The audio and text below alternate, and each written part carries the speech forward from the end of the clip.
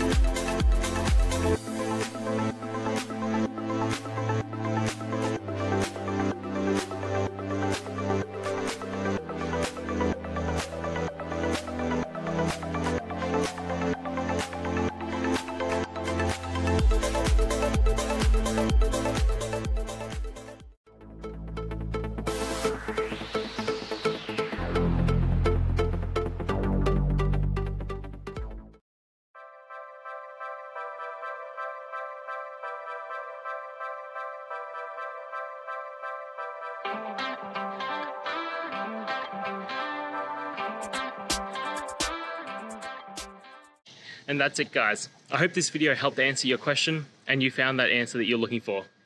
Now, please hit subscribe if it helped. I really appreciate it. And I'll see you next time on another one of these videos. Cheers.